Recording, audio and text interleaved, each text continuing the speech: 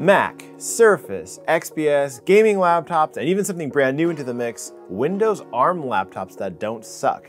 Yeah, this is going to be a big year for laptops.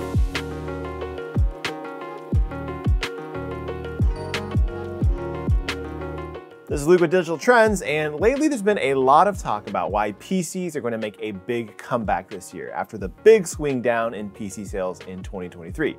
Of course, a lot of that talk has been driven by AI and all that kind of nonsense, but today I want to talk about the actual exciting new laptops that are supposedly coming this year. From what I already saw at CES, and according to the latest reporting, we have a pretty good idea of what's coming, so let's talk about it. I'm gonna start with a laptop I've already seen in person and am excited to try out more, but is definitely controversial. And of course, I'm talking about the new Dell XPS 14. Now, based on the comments in my video, which runs through the entire revamp of the XPS lineup that you should definitely check out, not a lot of people are feeling this new design, and that's totally fair. Everyone's upset about the seamless haptic trackpad and the capacitive touch buttons that get rid of the function row of keys, and for the most part, I can agree with these complaints. But I'd be lying if I said the look of this laptop isn't striking, and I'm very curious about its performance when you configure it with an RTX 4050. Feels like a pretty decent MacBook Pro 14 competitor to me, though maybe not the best one. I'll get back to that later. And please note that when I say I'm excited about the XPS 14, I'm saying that model specifically because I still think the XPS 16 feels like kind of a non-starter as a larger content creation device. But when it comes to the 14 inch model, I can be more forgivable about some of those design changes, especially since we're getting a faster 120 Hz screen and a considerably smaller chassis compared to the XPS 15. But before I get into too much hot water for actually being excited about this thing, let's move on to the world of MacBooks. So obviously a lot of what I'm about to say comes from reporting coming from people like Mark Gurman, but it seems pretty clear at this point that we're going to get updates to the MacBook Air this spring at some kind of launch event alongside some new iPads. In lieu of releasing the M3 update last fall for the MacBook Air, it looks like Apple will be lining up an M3 update to the 13-inch and 15-inch MacBook Air at the same time alongside those new iPad Pros, which is the first time they've done something like that. It's also expected that the M1 MacBook Air will be finally cut out from the lineup officially, leaving Apple with a simpler lineup unless Apple does something crazy like continue to sell the M2 MacBook Air. We'll have to see, but this will likely be the only MacBook launch of the year, which is kind of crazy to think about. As of now, reporting is pointing to the launch of the M4 chip being saved for 2025, which will be built on the 2 nanometer TSMC chips, which is likely when the MacBook Pros will eventually get updated. So it's really just these MacBook Airs this year. Now, these M3 MacBook Airs won't have much else in terms of an update. The design isn't gonna change. After all, the 15-inch model came out just last summer. But really, graphics will be the biggest update to these devices. And I just don't know that that's going to make a big change for the average person. Although, if you are coming from an aging M1 MacBook Air that's a few years old, it might make for a decent upgrade. The next one I want to talk about is the 14-inch MacBook Pro competitor that I think everyone is sleeping on, and that is the Asus ROG Zephyrus G14. This is another laptop that we got to see in person at CES just a few weeks ago, which I can't believe that was a few weeks ago. But this is my most anticipated gaming laptop of the year, and it's the one Windows laptop that I think is the most competitive with something like a 14-inch M3 Max MacBook Pro. It's gotten a complete redesign this year with a clear eye towards making this more of a crossover hybrid laptop than it already was, and by that, I mean it's a laptop that looks a lot like a mainstream consumer laptop that just so happens to be a powerful gaming laptop too. Like if you go check out their website, it's being sold for creativity and productivity just as much as for gaming.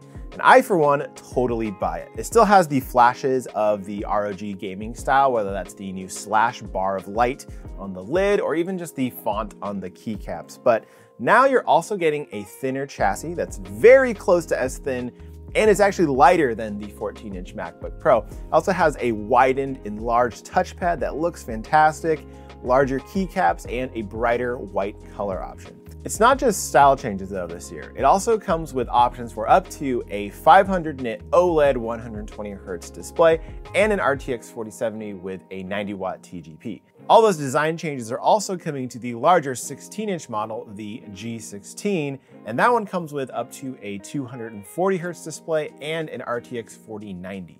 Obviously, all this needs to be tested and reviewed, but this is definitely one of the laptops I'm most excited to review when it comes out later this year. Next up is a pair of devices that have been a long time coming, and I'm talking about the Surface Pro 10 and the Surface Laptop 6. Now, the Surface Pro 9 came out way back in October of 2022, so it's been a while since we've heard anything about Microsoft's flagship 2-in-1. And to be fair, they did lose the head of Surface and Windows last fall, Panos Panay, but the recent reporting from Windows Central is pointing to two releases coming actually for both these lines, the Surface Pro and the Surface Laptop this year. So first, there is reportedly going to be a more conventional commercial launch in the spring, which will be named the Surface Pro 9 Plus and Surface Laptop 5 Plus if Microsoft follows the previous naming scheme that they've done in the past. But the real exciting stuff is supposedly coming in late spring or early summer, and that is the actual Surface Pro 10 and Surface Laptop 6. And even though we're not expecting radical new designs here, we do know that they'll be lined up with both the launch of a new AI-focused Windows update, maybe called Windows 12 or maybe not, as well as the launch pad for the new ARM-based Qualcomm chips. And guys, this is where things get really interesting.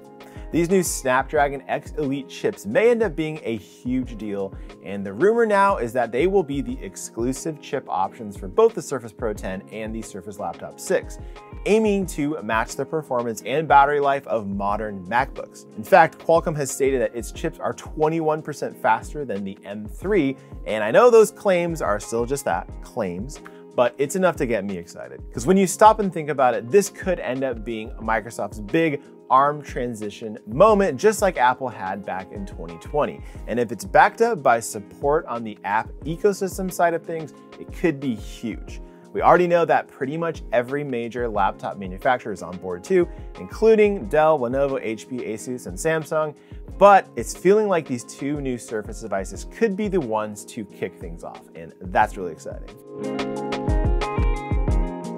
Lastly, I want to end up with one more laptop that I again saw at CES that really got me excited, and we actually gave this a Best of CES award, and that's the Lenovo ThinkBook Plus Hybrid. This was a two-in-one with a very unique premise. On one level, it's a Lenovo Windows laptop like any other, but then you yank up on the screen and you can pull off the 14-inch screen to be used as a tablet not unlike the old Surface Book devices from back in the day. The difference here though is that this tablet has a full version of Android running on it, and the benefit of course is that Android is a much more intuitive touch-only operating system than Windows 11 currently is, and it has a large ecosystem of Android apps, again, at least compared to Windows. Beyond that, this little device has a few secret tricks up its sleeve, such as being able to share files between the two systems, run Android in a window while running Windows, and even run the entire laptop as an Android laptop. Now there's a lot I want to test out with this very unique product, but of all the more experimental designs to be announced this year so far,